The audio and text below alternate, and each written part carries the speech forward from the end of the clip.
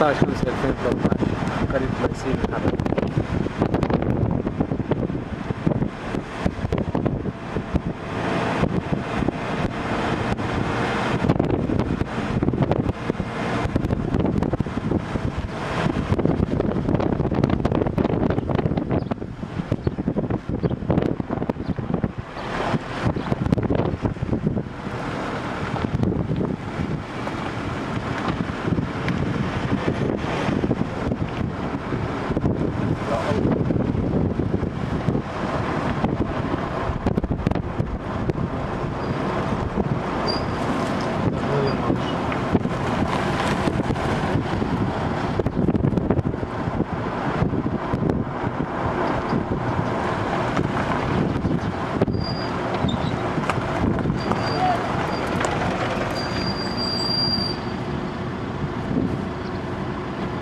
Thank